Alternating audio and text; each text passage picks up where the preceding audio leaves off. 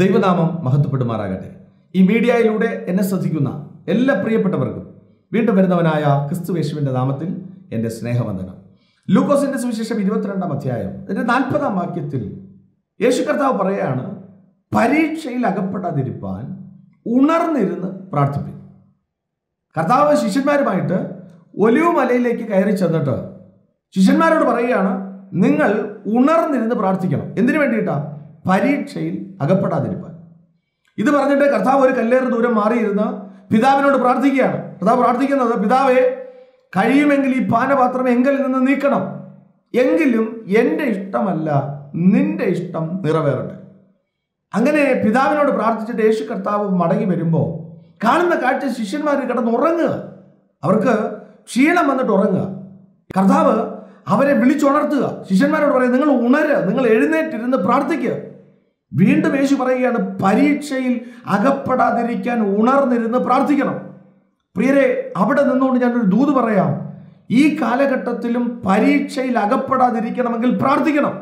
എന്തിനാ പ്രാർത്ഥിക്കുന്നത് സാത്താൻ അലറുന്ന സിംഹം പോലെ ആരെ വിഴുങ്ങേണ്ടു എന്ന് പറഞ്ഞ് ഊടാടി സഞ്ചരിക്കുക.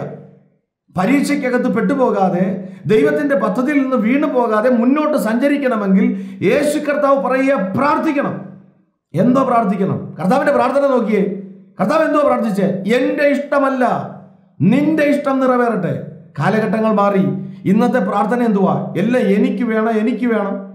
എനിക്ക് ലഭിക്കണം. വേണ്ടെന്നല്ല. പ്രാർത്ഥനയുടെ സ്റ്റൈൽ മാറണം. പ്രാർത്ഥനയുടെ രീതി മാറണം. എങ്ങനെ മാറണം? കർത്താവെ എനിക്ക് എന്ത് തരണമെങ്കിലും അത് നിനക്ക് ഇഷ്ടമെങ്കിൽ മതി. വീടായിക്കൊള്ളട്ടെ കാറായിക്കൊള്ളട്ടെ എന്ത് തന്നെ ആകട്ടെ നിന്റെ ഹിതമുള്ളത് മാത്രം എനിക്ക് മതിയെന്ന് യേശു കർത്താവ് പ്രാർത്ഥിച്ചതുപോലെ പ്രാർത്ഥിക്കാനുള്ള ഒരു കൃപ ദൈവം നമുക്ക് തരട്ടെ. സ്തോത്രം. ഇവിടെ കർത്താവിന്റെ പ്രാർത്ഥന വളരെ ശ്രദ്ധേയമാണ്. കർത്താവ് ശിഷ്യന്മാരോട് പറയുന്നതും നിങ്ങൾ വെറുതെ അല്ല നിങ്ങൾ പരീക്ഷയിൽ അകപ്പെട്ടു പോകാൻ സാധ്യതയുണ്ട് അതുകൊണ്ട് പ്രാർത്ഥിക്കണം. പ്രിയരെ പ്രവർത്തികളുടെ പുസ്തകം ഒന്നാം അധ്യായത്തിനകത്ത് അവിടെ പറയുന്നൊരു കാര്യമുണ്ട്. അവർ ഒരുമനപ്പെട്ട് പ്രാർത്ഥിക്കുക. എന്തിനു വേണ്ടിയിട്ടാ? യേശു കർത്താവ് സ്വർഗാരോഹണം ചെയ്യുന്നതിന് മുമ്പ് ശിഷ്യന്മാരോട് പറയുന്നുണ്ട് നിങ്ങൾ ഇവിടെ നിന്ന് വാങ്ങിപ്പോകരുത്. നിങ്ങൾ ഇവിടെ നിന്ന് വാങ്ങിപ്പോകരുത്. എന്നോട് കേട്ട വാഗ്ദത്വത്തിനായിട്ട് നിങ്ങൾ കാത്തിരിക്കണം.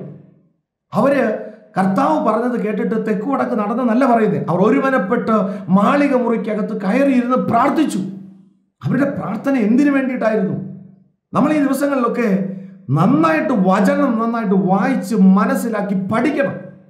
വേണ്ടെന്നല്ല ഈ ഭൂമിയിലായിരിക്കുമ്പോൾ നമുക്ക് ആവശ്യമുള്ളതെല്ലാം വേണം. അതെല്ലാം തരുവാൻ എന്റെ ദൈവം ശക്തനാണ് എന്നാൽ അവരുടെ പ്രാർത്ഥന എന്തുവാ?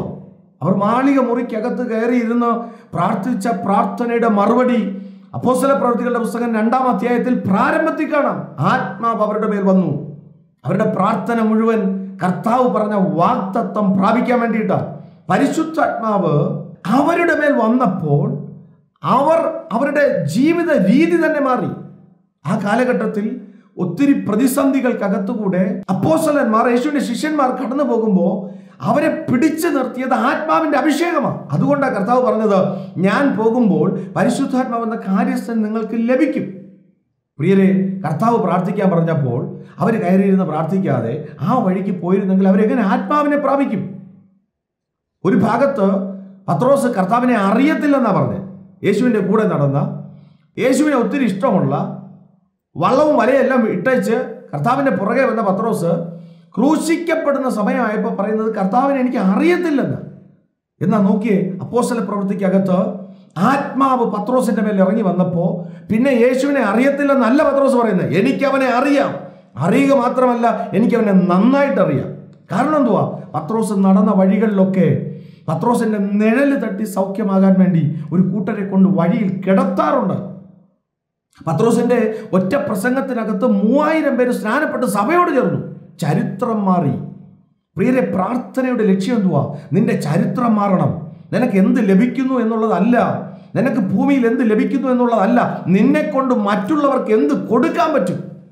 പത്രോസിന്റെ നിഴലിൽ നിന്ന് ശക്തി പുറപ്പെട്ട് ഒത്തിരി പേര് സൗഖ്യമായെങ്കിൽ പത്രോസിന്റെ ഒറ്റ പ്രസംഗത്തിനകത്ത് മൂവായിരം പേര് സഭയോട് ചേർന്നെങ്കിൽ ഈ സന്ദേശം കേൾക്കുന്ന പ്രിയ സ്നേഹിതരെ നമ്മുടെ പ്രാർത്ഥന മുഴുവൻ ആത്മാക്കളെ നേടാൻ വേണ്ടിയിട്ടായിരിക്കണം നഷ്ടപ്പെട്ടു പോകുന്ന നശിച്ചു പോകുന്ന ഒരു കൂട്ടത്തെ നേടാൻ വേണ്ടിയിട്ടായിരിക്കണം നമ്മുടെ പ്രാർത്ഥന എന്താണ് നമ്മൾ മനസ്സിലാക്കണം?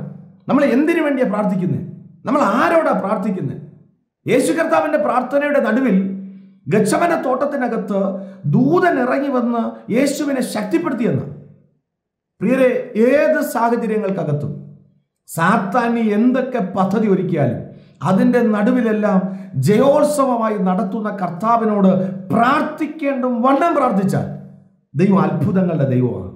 പത്രോസ് പ്രാർത്ഥിച്ചപ്പോൾ സംഭവിച്ചെന്തുവാ ഇന്നലെ വരെയുള്ള പത്രോസ് അല്ല ഇപ്പോൾ അപ്പോസലന്മാരുടെ പ്രാർത്ഥനാ മുറികൾക്കകത്തെല്ലാം രാത്രിയിൽ കർത്താവ് ഇറങ്ങിവെന്നാണ് പറയുന്നത്. എന്തിനു വേണ്ടിയിട്ടാണ് അവരെ ബലപ്പെടുത്താൻ അവരെ ശക്തിപ്പെടുത്താൻ. ഈ സന്ദേശം കേൾക്കുമ്പോൾ പ്രിയരെ ഭൂമിയിലുള്ള താൽക്കാലികമായ മെറ്റീരിയൽസിന് വേണ്ടി നമ്മുടെ പ്രാർത്ഥനാ ജീവിതത്തെ ഒതുക്കിക്കളയാതെ നിത്യത എന്ന വലിയ ദർശനത്തെ നമ്മൾ മുറുകെ പിടിക്കുന്നത് പോലെ ഒരു വലിയ സമൂഹത്തെ കർത്താവിന് വേണ്ടി നേടുവാൻ പ്രാർത്ഥിച്ചു പുറപ്പെടുവാൻ ഒരു തലമുറ എഴുന്നേൽക്കേണ്ടതിന് നമുക്ക് ഒരു മനസ്സോടെ ദൈവസന്നിധി ഈ ദിവസങ്ങളിൽ പ്രാർത്ഥനയ്ക്ക് വേണ്ടി പ്രാർത്ഥിക്കാം. എങ്ങനെയാ? പ്രാർത്ഥിക്കാൻ വേണ്ടി പ്രാർത്ഥിക്കാം. കർത്താവെ എനിക്ക് പ്രാർത്ഥിക്കാനുള്ള ഒരു കൃപ തരണമേ എന്ന വിഷയത്തിന് വേണ്ടി പ്രാർത്ഥിക്കാം.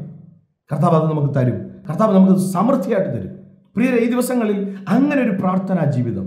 യേശു കർത്താവ് ഗച്ഛമന തോട്ടത്തിൽ പ്രാർത്ഥിച്ചതുപോലെ മാളിക മുറിക്കകത്ത് അവർ ഒരുമനപ്പെട്ട് പ്രാർത്ഥിച്ചതുപോലെ കാരാഗ്രഹത്തിനകത്ത് അപ്പോസ്വലന്മാരൊക്കെ അടുത്ത നിമിഷം വാളിന്റെ വായ്ത്തലയാൽ ജീവൻ ഇവിടുന്ന് മാറുമെന്ന് ചിന്തിച്ചിട്ടും അറിഞ്ഞിട്ടും ദൈവസന്നിധിയിൽ മുട്ടുമടക്കി പ്രാർത്ഥിച്ച് നിത്യതയിൽ പ്രവേശിച്ചതുപോലെ. പ്രിയരെ നമുക്കും അതിനകത്ത് പ്രവേശിപ്പാൻ ദൈവം കൃപ ചെയ്യട്ടെ. ഈ വചനങ്ങളാൽ ദൈവം നമ്മെ ധാരാളമായിട്ട് അനുഗ്രഹിക്കട്ടെ. God bless you.